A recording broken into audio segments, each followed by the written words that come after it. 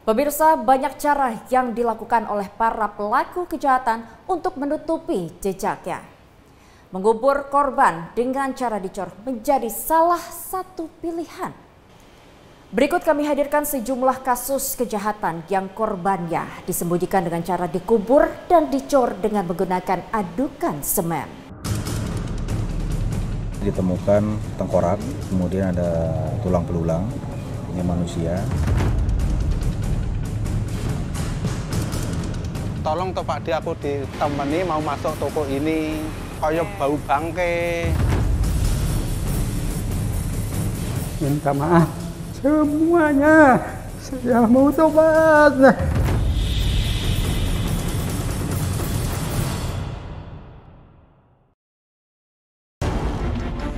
Seorang pelaku kejahatan pasti akan berpikir bagaimana ia bisa menghilangkan jejak kriminalnya dengan sempurna.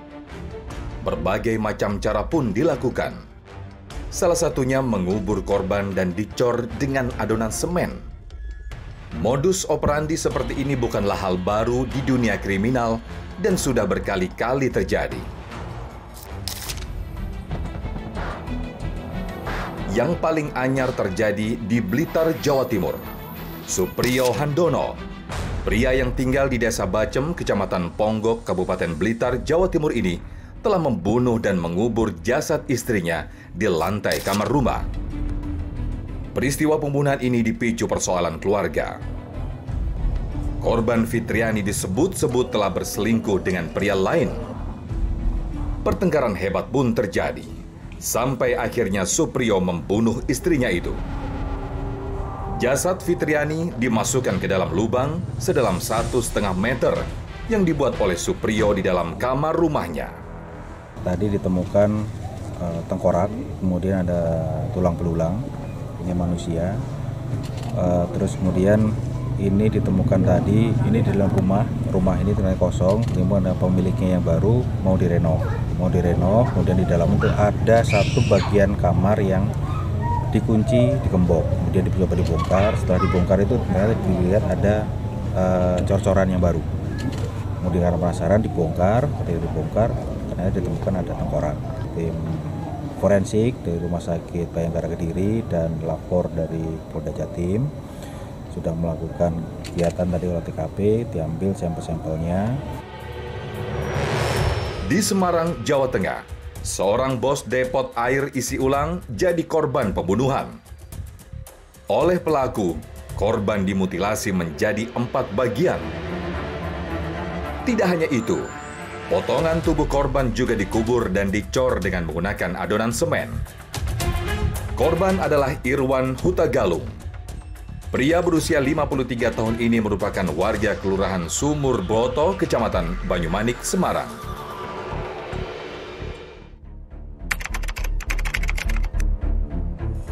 Di lokasi inilah Irwan Hutagalung ditemukan tewas termutilasi dan dicor semen pada Kamis malam 4 Mei 2023 lalu. Dari hasil otopsi, korban meninggal akibat pukulan benda tumpul yang sangat keras pada bagian kepala dan kening sebelah kiri. Keluarga korban saya minta maaf sebesar-besarnya. Saya akui saya salah karena nggak seharusnya juga saya melakukan hal tersebut apalagi sampai menghilangkan nyawa. Yang jelas emosi kedua merasa terancam dan teraniaya di situ. Untuk keluarga saya juga saya minta maaf yang sebesar-besarnya atas perilaku saya seperti ini. Kami berusaha mencari tahu awal mula kasus ini terungkap. Kami kemudian coba menemui pemilik ruko yang disewa oleh Irwan Hutagalung. Rumah pemilik ruko tepat berada di belakang ruko yang disewa oleh Irwan. Namanya Margono. Saat itu, Margono baru saja mengantar istrinya ke pasar. Tak lama, ia dihampiri oleh Yuliati, pembantu korban. Kepadanya, Yuliati mengatakan kalau dari dalam ruko tercium bau tak sedap pulang dari pasar toh ya. saya diadang sama Mbak namanya Mbak Juli Juliati ya nah itu Nah terus Juliati bilang, saya diajak itu, Pak D, Pak D, Mbak tolong tuh Pak D aku ditemani mau masuk toko ini. Kok kayaknya itu kok kayak bau bangke. Ya wes, apa terus dia buka, oh dia yang pegang kuncinya toh. Saya cuma nemeni, antar belakangnya, yo yo tak beli terus tak cari cari cari cari sana sana sana. Itu di tempat lokasi saya lihat, loh kok ada apa gu- gundukan tapi yang kelihatannya kakinya itu. Nah setelah itu nah, terus saya kan tahu nak itu ada kaki sudah posisinya gini. Nah terus saya kan terus innalillahi wa inna ilaihi rajiun. Kalau balik langsung seketika itu, lu kok menungso atau jebul lah terus udah keluar, sudah itu keluar ya terus langsung saya lapor ke polsek itu. Kasus pembunuhan disertai mutilasi yang sempat menggegerkan warga ini kemudian ditangani Polrestabes Semarang.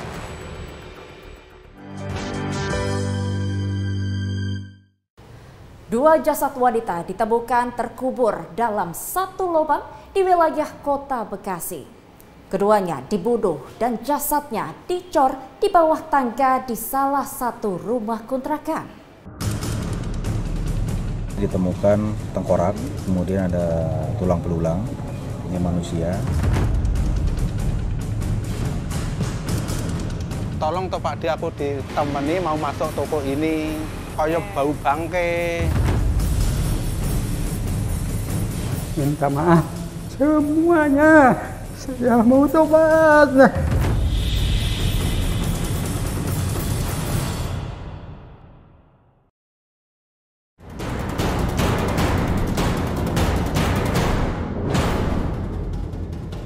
Memendam kemudian mengecor jasad korbannya dianggap aman bagi para pelaku pembunuhan. Tapi nyatanya tidak. Buktinya semua itu terbongkar.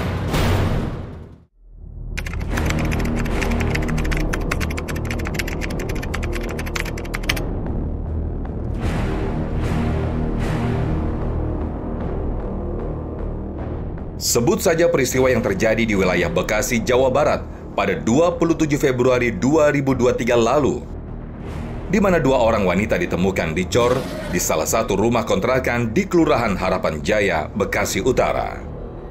Keduanya adalah Yusi Purawati, 48 tahun, warga perumahan Pulau Gebang Indah, Blok J13 Cakung, Jakarta Timur.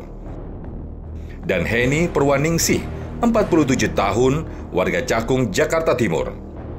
Keduanya dibunuh dan jasadnya dicor di bawah tangga salah satu rumah kontrakan. Kedua korban dihabisi oleh lelaki bernama Permana. Namun sayangnya, cerita kasus ini tidak tuntas karena Permana memilih untuk bunuh diri usai membunuh. Allah Akbar. Ya Allah. Ya Allah, itu itu Pak Permana ya? Ia tewas dalam perjalanan ke rumah sakit umum daerah kota Bekasi dengan luka sayatan senjata tajam pada pergelangan tangannya. Peristiwa ini sempat terekam CCTV. Saat itu, Yusi dan Heni mendatangi rumah kontrakan pelaku.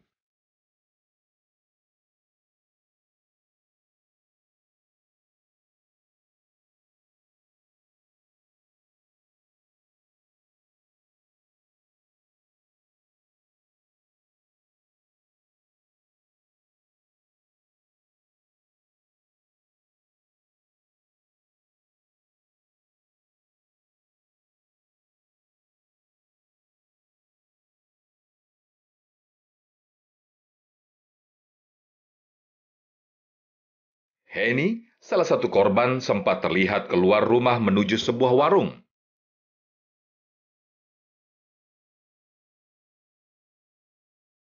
Untuk kemudian kembali ke dalam rumah. Dan sejak saat itu, Heni dan Yusi tak terlihat lagi sampai ditemukan menjadi mayat.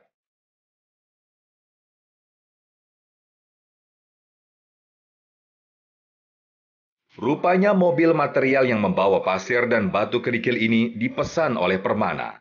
Bahan material tersebut digunakan oleh Permana untuk mengecor kedua korbannya.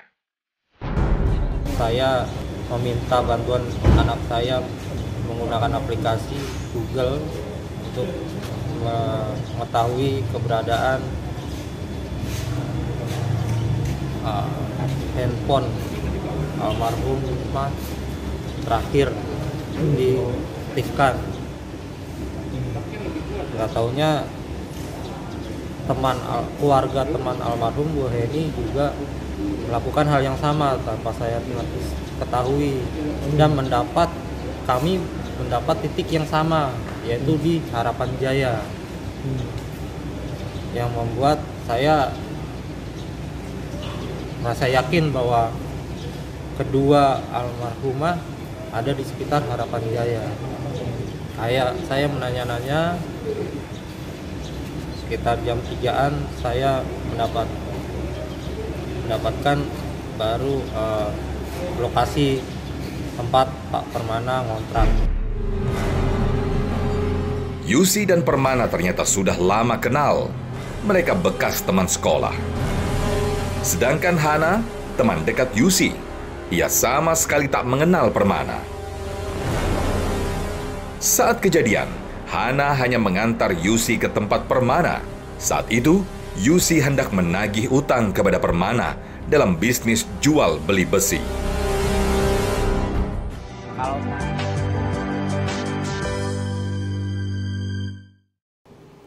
Terbongkarnya kasus pembunuhan berantai di Cianjur, Jawa Barat sempat menggegerkan warga. Sindikat penipuan dengan modus penggandaan uang yang dipimpin oleh Wawon Erawan menambah daftar panjang kejahatan keji di negeri ini.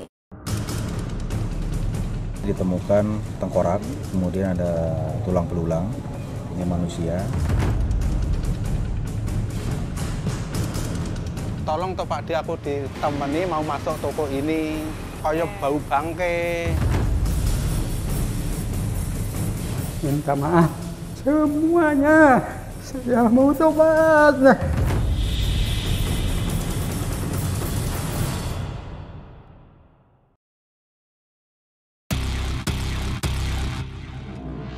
Dihabisi nyawanya, kemudian jasadnya dicor. Modus ini juga pernah dilakukan oleh komplotan pembunuhan berantai Wawon CS. Lubang-lubang berisi jasad manusia yang telah dicor, bahkan telah dipasangi keramik ini, akhirnya terkuak. Di sinilah pelaku Solihin alias Duloh mengubur dua korbannya sekaligus, masing-masing Wiwin Winarti dan ibunya Noneng Suryati. Posisi lubang ini persis di samping rumah tersangka Solihin alias Duloh di Kampung Babakan Mande, Ciranjang, Cianjur, Jawa Barat. Dibantu beberapa warga, polisi juga membongkar coran yang di dalamnya terdapat mayat bocah dua tahun bernama Bayu. Bayu juga dihabisi oleh Solihin alias Duloh. Korban lain yang dihabisi oleh Duloh dan mayatnya dikubur dan dicor, bahkan di keramik, adalah Parida binti Enim, seorang tenaga kerja wanita. Jasad Parida dipendam di dalam rumah kontrakan yang berlokasi di Desa Kertajaya, Ciranjang. Bahkan lantai tempat Parida dikubur sudah dipasangi keramik lagi oleh Duloh dan kawan-kawannya sehingga sama sekali tak ada yang menyangka. Dalam kasus ini, korban dihabisi lantaran dianggap menghalangi proses penipuan dalam bentuk penggadaan uang yang dilakukan oleh Wawon Erawan. Wawon telah memerintahkan Dullah untuk mengeksekusi semua orang yang menghalangi praktik tipu-tipunya. Kalau Parida itu, aku mah cuman menyuruh doang. Menyuruh Pak Solihin gitu. Pak kalau misalnya Parida nantinya nagih sama saya nagih janji udah aja Pak sekalian aja bunuh aja gitu kata aku ya kata Pak Solihin ya oke gitu Sementara itu, inilah alasan Solihin alias Duloh kenapa ia tega menghabisi nyawa para korbannya.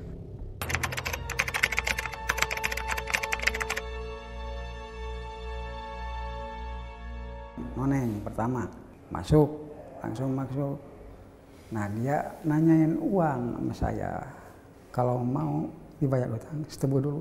Nah dia bilang gitu. Nah dia mau langsung tiduran. Nah udah itu langsung cekik. Tangan kanan ini kiri bekam setengah jam. Udah ya, mati. Langsung saya ditarik ke lubang itu. Ya ditarik lagi ngobrol itu sama si Wawan. Si langsung dibaringkan terus suruh tidur langsung itu amplop tiga. Nah, kan pintu belum dikunci si Wawan belum keluar nah si Wawan keluar, saya tuturin kunci pintu. Bilang si Wawan, abisin sekarang. Gini lagi. Langsung cek. Tangan kanan, kiri bekam. Ini mulut.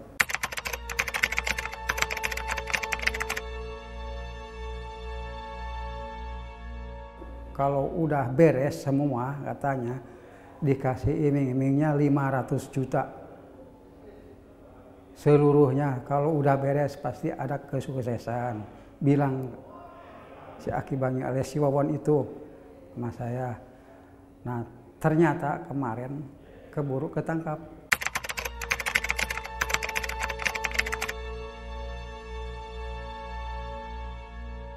Ancamannya cuma gitu doang kalau kamu mau mau benar-benar sukses punya uang kaya raya ilmu bertambah, makanya harus nuruti. Kalau bahasa Jakartanya, ilmu harus punya, uang juga harus punya. Gitu.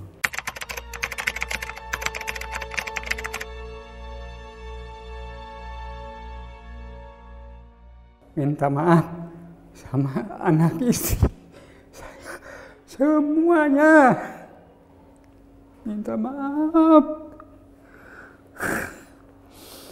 Saya mau tobat. Nah, sebesar-besarnya. Ya,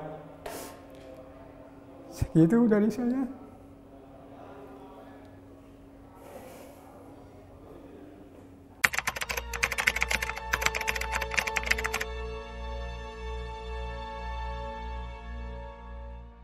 Saya udah siap.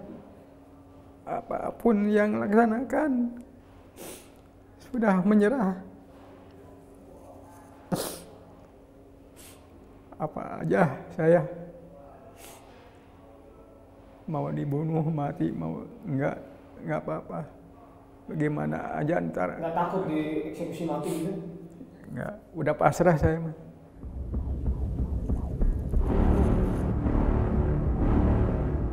Wawon dan Dulo kini telah mendekam di balik jeruji besi penjara. Pemirsa, 30 menit sudah kami menemani Anda. Sampai jumpa di program Menyikap Tabir pekan depan.